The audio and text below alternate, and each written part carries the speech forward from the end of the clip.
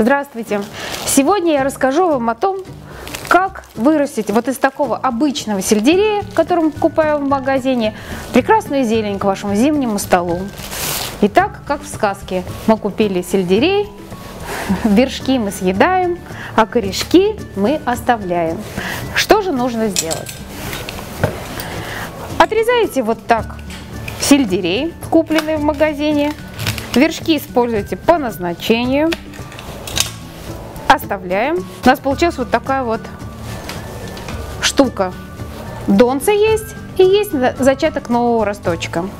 Берем емкость. Емкость можно взять любую, какая у вас есть. Будь то. Главное, чтобы она была прозрачная. Можно даже из пластиковой бутылки вырезать. Не обязательно, вот как я взяла. И можно и меньше по размеру. Наливайте водички. Достаточно.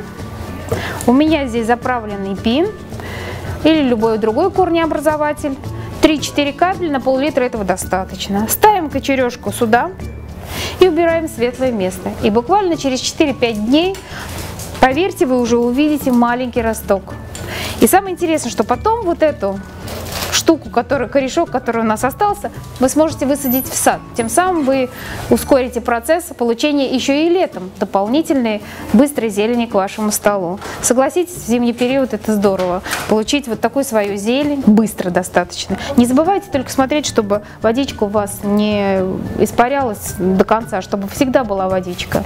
Потом мы можем будем пересадить, когда будут большие корешки, мы сможем пересадить в грунт. А сейчас вот на данном этапе у нас пока с водичкой все.